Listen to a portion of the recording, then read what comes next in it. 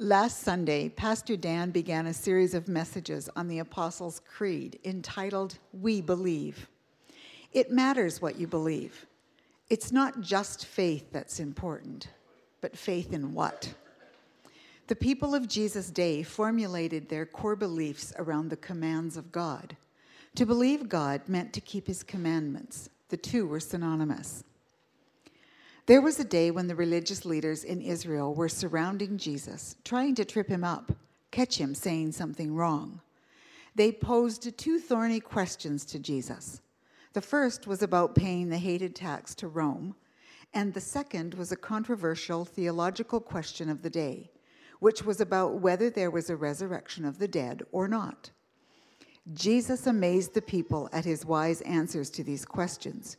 You may want to read about them in Mark 12. Then they posed the next tricky question Which is the most important commandment in the Bible? Turn with me to Mark 12, and we'll begin reading at verse 28 to see what Jesus said this time.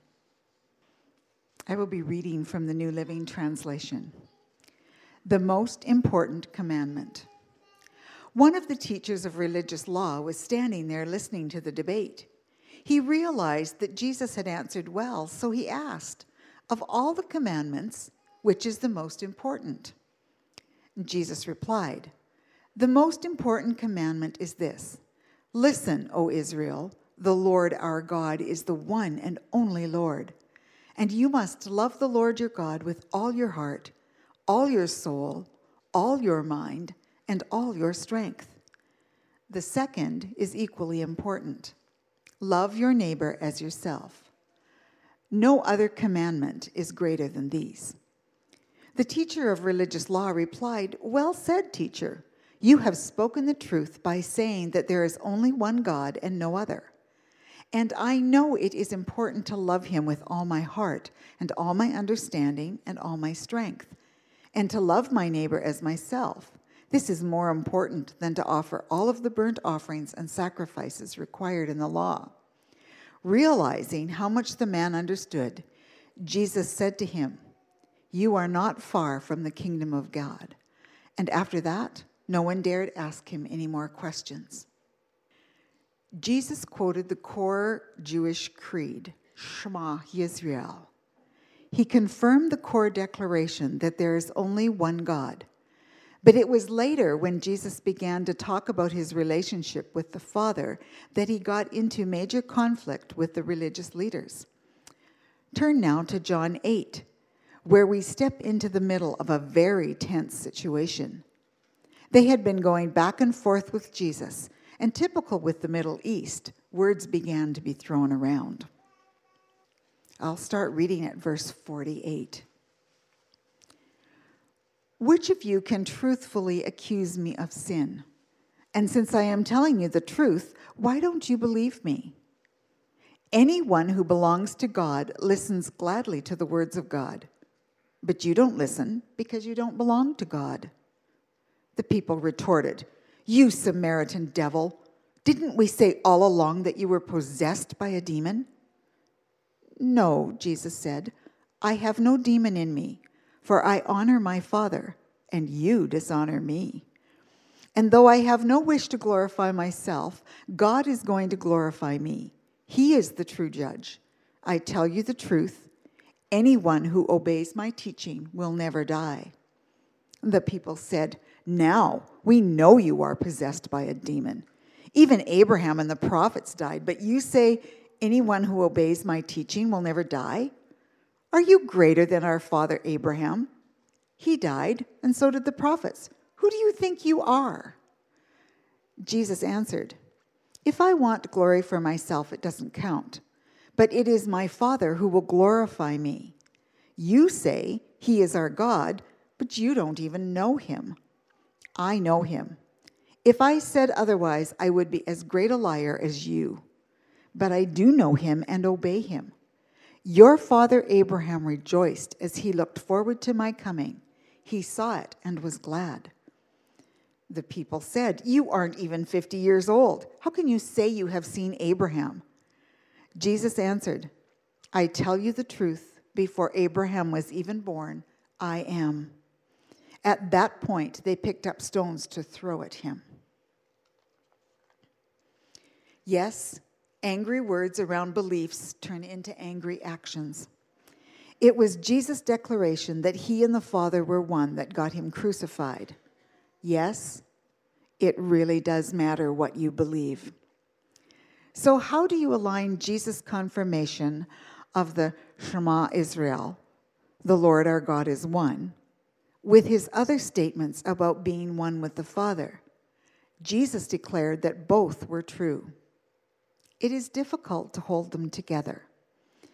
Later in the service, Pastor Dan will talk about this. The word of the Lord. In fact, last week we began our, our series, and we talked about how understanding what we believe is actually very important. We call them a creed, which comes from that Latin word meaning I believe. And the the issue of what we believe is very important. Today in our culture, it seems like there's this idea out there that it's, it's just having faith that's important. Not particularly important what you believe, it's just that's your belief and that's yours and that's your belief. Our idea today is believing is good. But what I want to tell you today is that it's more important what you believe in, actually, because it's what you believe that really defines what belief actually is all about. We saw how in Israel they did have a core creed. This was their Shema Israel, which is the Hebrew word for Hear, O Israel. And take a look at that. It says, The Lord, our God, the Lord is one. And this phrase is repeated by Jewish congregations every time they get together because ideas matter. In fact, sometimes ideas mean life and death, as we saw in our scripture reading this morning. Now, we saw last week how after the apostles died, ideas began to fly around about Jesus, some of them true, some of them not true. And it came to the point where the church realized we better, we better define what we actually do believe. And so they gathered their people together, their leaders together, and they had a large debate, long debate about it. And they came up with what we call now the Apostles' Creed. This is what the apostles believe. And we have a, a bit of a summary decoration here on the stage with uh, these banners here, which kind of remind us about what this Apostles' Creed is about. And so I want to invite you to actually look in your bulletin and take out the Apostles' Creed that we printed in there. There's a card in there. And this is the creed that has been around for the church for over 2,000 years. This is a summary of the essentials of what we believe. Let's read this together. I believe in God, the Father Almighty, creator of heaven and earth and in Jesus Christ, his only Son, our Lord, who was conceived by the Holy Spirit, born of the Virgin Mary, suffered under Pontius Pilate, was crucified, died, and was buried. He descended to hell. On the third day, he rose again from the dead. He ascended to heaven and is seated at the right hand of God, the Father Almighty. From there he will come to judge the living and the dead. I believe in the Holy Spirit, the Holy Catholic Church, the communion of saints, the forgiveness of sins, the resurrection of the body, and the life everlasting. Amen. So if someone asks you, What do you believe? this would be a very good summary to be able to explain to someone this is the core of what it means to be a Christian. Now, as you read that, and as you look at that in your hand, perhaps there, you'll notice that there are actually four main themes that are in this core belief. And they have to do with the Father, the Son, the Spirit, and the church. Now, as you heard earlier in this service, Jewish Christians who had this creed had a theological challenge. How do you keep these ideas together? The Creed of Israel, which they affirm every Sunday, every Sabbath, that the Lord is one, and which Jesus affirmed and said that is the most important thing about God. How do you keep that together with this fact that Jesus was introducing him talking to the Father, and the Father talking to him, and he's talking about the Holy Spirit? In fact, it was this relationship with the Father that got Jesus in trouble. And that was the core reason why they crucified him. Because, ladies and gentlemen, ideas matter. And it is a difficult concept to put the two together, but the fact that Jesus rose from the grave and came back and taught his disciples means we need to really listen to this Jesus. And that the ideas he's bringing forth need to be seriously understood because who else, who else ever died, was buried, and rose three days later and never died again? We must listen to this, this Jesus. He speaks with an authority like no one else. Well, we have a good example of how he explained to his people about this. And I want to uh, point you to this story, the road to Emmaus. And uh, you remember the story is that Jesus had been crucified and buried, and there were two of the disciples that were just very saddened. They left Israel, left Jerusalem, I should say. And uh, on the way to Emmaus, they were joined by Jesus. But they didn't recognize him at first. And he said to them, How foolish you are, how slow to believe all the prophets have spoken. Did not the Messiah have to suffer these things and then enter his glory? And beginning with Moses and all the prophets, he explained to them what was said in all the scriptures concerning himself. And then when he broke bread at the meal, they realized who he was we have in this story a very important principle about how we hold ideas together theologically. Jesus took them back and reread the scriptures of the Old Testament and showed them what they had not seen before. Now, this happens to us all the time. I wonder how many of you have had someone pass away in your family and after that happened, you look back and you realize, you know, they were actually giving some hints that they kind of knew about this. And they said some things that at the time we didn't really twig to. But looking back now, they were kind of saying goodbye, or maybe they were setting things together and getting it all ready. How many of you have had a, a story or a memory of something like that? Would you raise your hand? There's been a few of you. Yeah, especially when you have been very close to this person. And this is what we call the clarity of hindsight. In fact, those who are very good at writing novels, stories, they do this. People like Jane Austen and others who, would, who write these intricate stories, and when you read them through, they are so good they're worth reading again. And if you read a good story again, the second time through, you get way more out of it. You pick up little hints and little parts of the story that the first time through, you didn't notice. The second time through, because you've read the whole story, oh, I see that and that and that. And that's one of the markers of a very good novelist. Well, that, folks, is one of what we call the principles of hermeneutics. We call it rereading. And so it is with the, the Bible.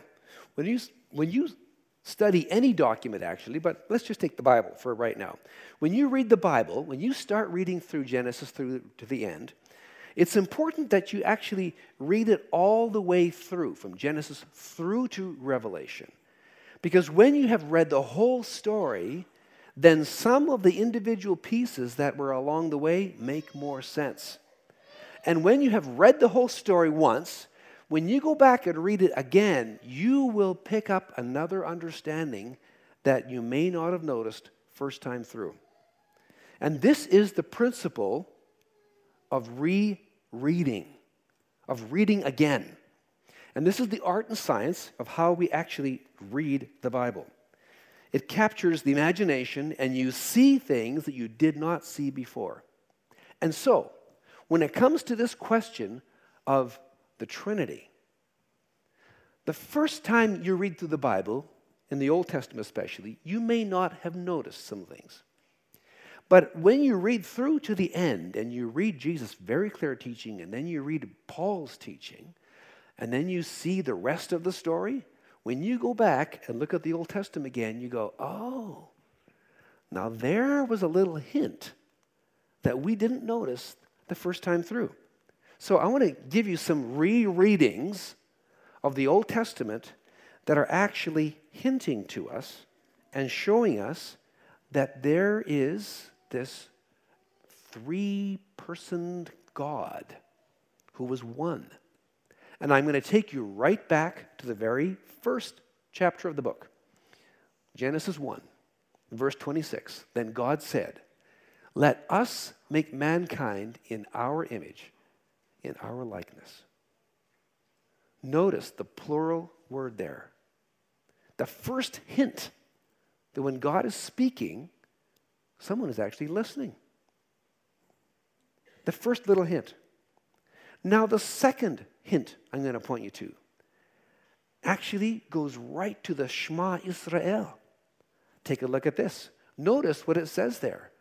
Hear, O Israel, the Lord, our God, the Lord is one. Three times the name of God is mentioned. It's a hint. It's a hint that there's something about this God that has this threesome to it. And then I want to show you another really important scripture. This was the blessing that God told Aaron to say whenever the people come together, give them this blessing as they leave. And that is this The Lord bless you and keep you. The Lord make his face shine on you and be gracious to you. The Lord turn his face towards you and give you peace. Three times. Now, you might say, well, maybe the three just means he's really emphasizing. And that's true. The first time through the Bible, and those who are living that First Testament would probably have thought that. When you give this blessing, we're saying it's the Lord. It's our Lord that will keep you. We want our Lord to make his face shine and be gracious to you and give you his peace. It's our Lord that you must remember he is God and there is no other God in all of Israel, in all of the world. And it would be true that repeating it three times would be emphasizing it. But that would be the first layer. When you reread with the New Testament, you see a hint that you didn't even notice the first time through that there is something happening here. There is a pattern of three happening. And now I want to show you another really unique time in the Bible. There, from what I can recall, there's only two people who have ever seen the actual throne of God. The first one was Isaiah. And in that year, Uzziah died, and it describes this amazing throne and all the creatures around it. And there were four, these, these seraphim or these, these angelic beings were calling one to another, Holy, holy, holy is the Lord Almighty. The whole earth is full of his glory. Those who were closest to the throne were stunned by this. Holy holy. Holy. The other person who saw into the actual throne room of God was John.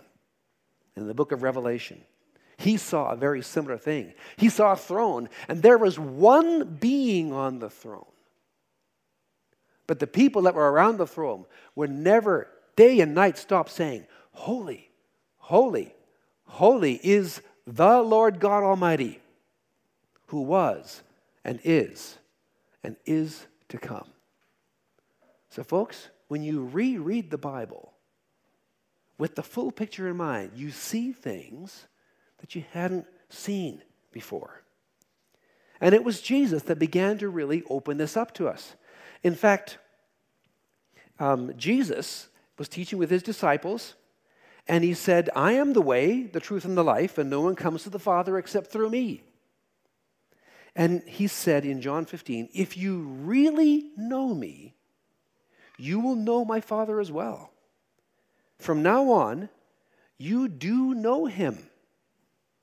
You have seen him because I'm talking to you. And Philip, he, he, along with everybody else actually, was having a hard time even beginning to grasp this new idea. And he said to him, Lord, show us the Father, and that'll be enough. And here's what Jesus responded He said, Don't you know me, Philip? Even after I have been with you for such a long time? Anyone who has seen me has seen the Father. So, how can you say, Show us the Father? Don't you believe? I am in the Father, and the Father is in me. And the words that I say to you, I do not speak of my own authority. Rather, it is the Father living in me who is doing his work.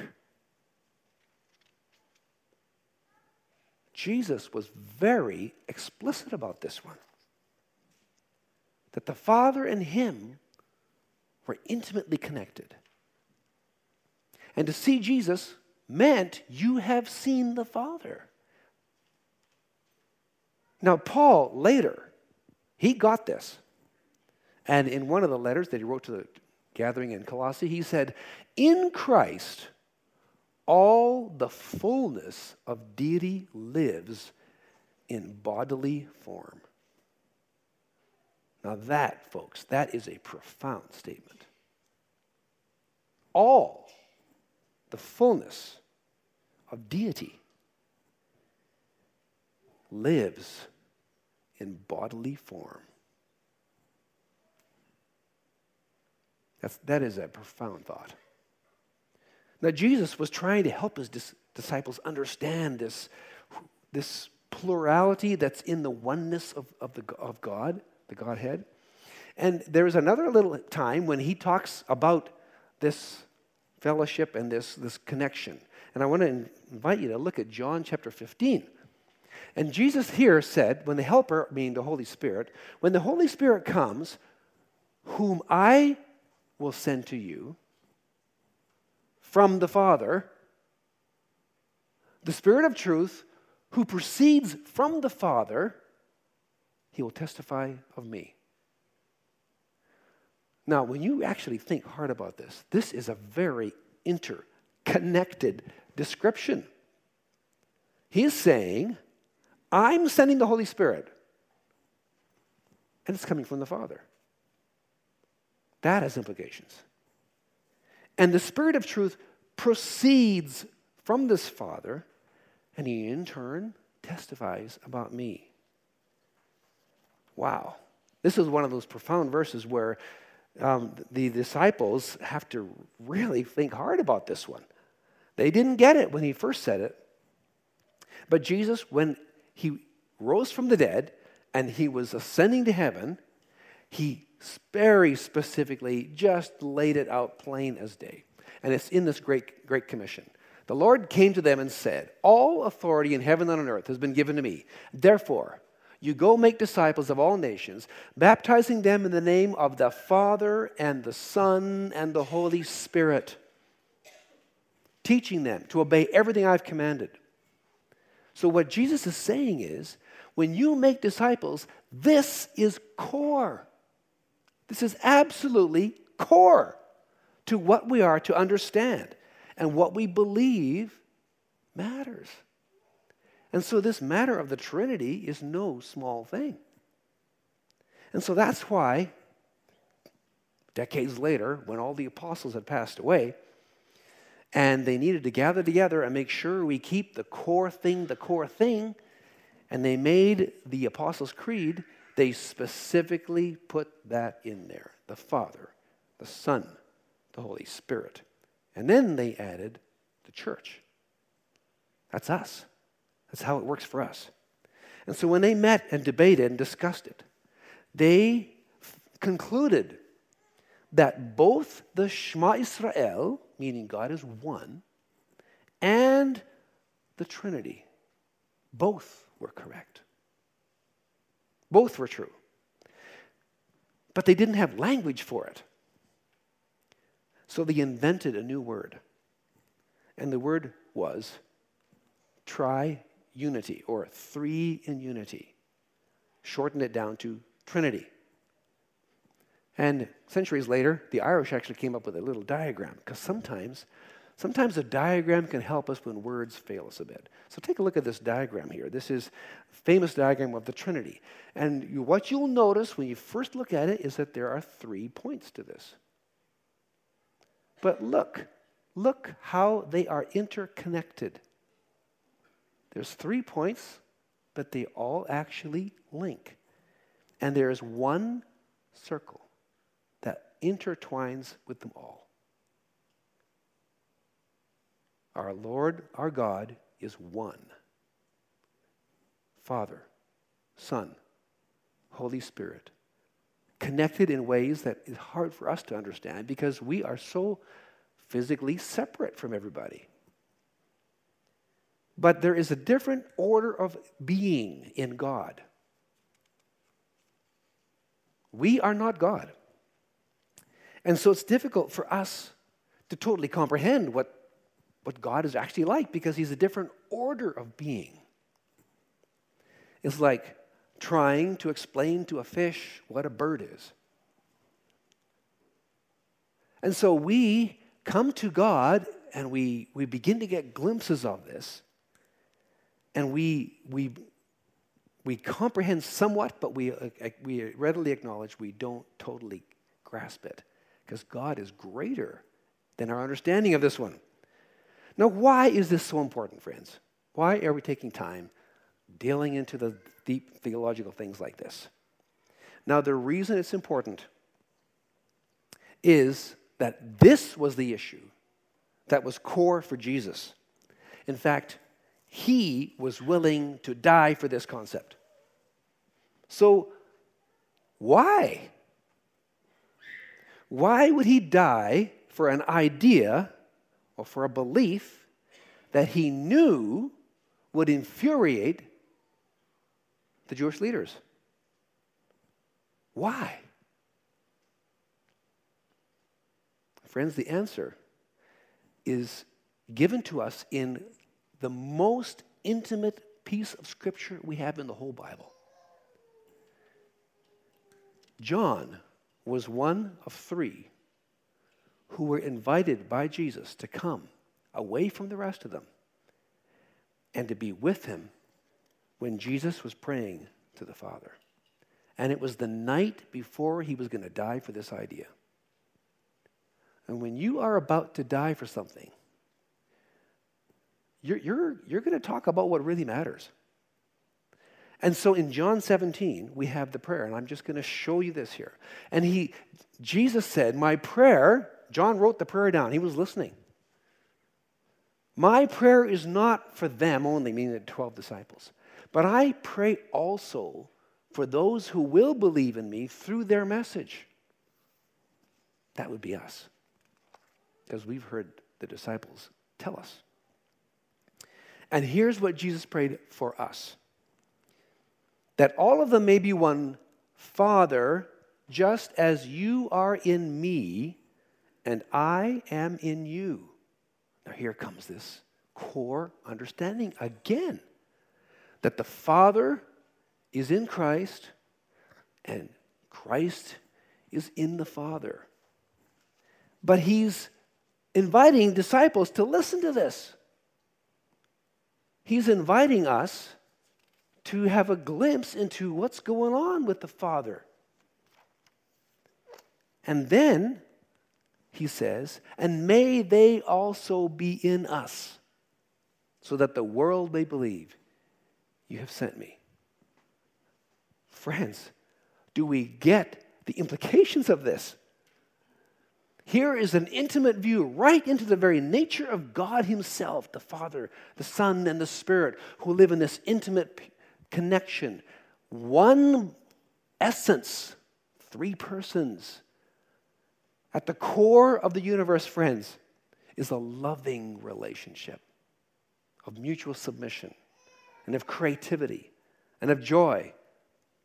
And Jesus said in his prayer, May they, meaning us, may they be in us as well.